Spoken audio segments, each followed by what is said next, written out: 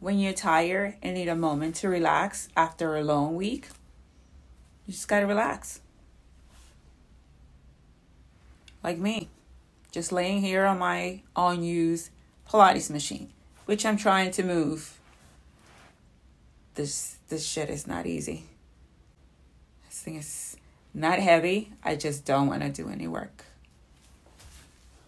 Ah. I'll just lay here and think about when I should move in. I'm so tired.